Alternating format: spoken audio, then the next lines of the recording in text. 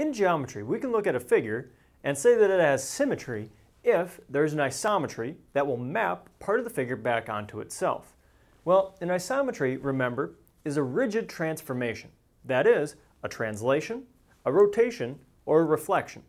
We could be more specific, however, for certain objects and say that they have rotational symmetry.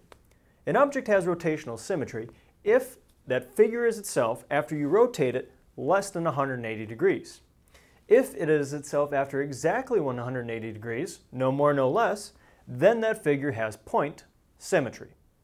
So let's look at a couple different figures here and try and determine if it has rotational symmetry, and if so, what the degree is. So here we have an equilateral triangle, and in my head, if I rotate this, I can definitely map it back onto itself. So if I draw in some lines here that'll intersect right there, I see that if all three of these are congruent, which they are since it's an equilateral triangle, then they all must be 120 degrees. So yes, this has rotational symmetry, and after every 120 degrees of rotation, it will be itself. So how many degrees of rota rotational symmetry does this have? It has 120 degrees.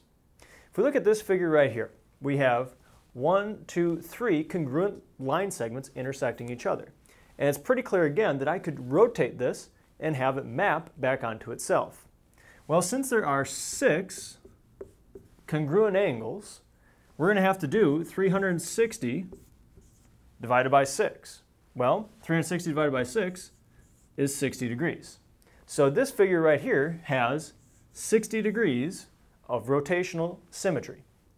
Last, if we look at this plus sign, if I had drawn this perfectly, it's pretty clear that after that there are four ways that we can rotate this. So if we take 360 degrees and we rotate it four different ways, it's pretty clear that this will have 90 degrees of rotational symmetry. So again, rotational symmetry, what does it mean? It means that you can rotate it less than 180 degrees and the figure will be exactly the same. And if you can rotate it exactly 180 degrees, so let's say we had a figure kind of like this, you see that if I rotate it exactly 180 degrees, it will be itself.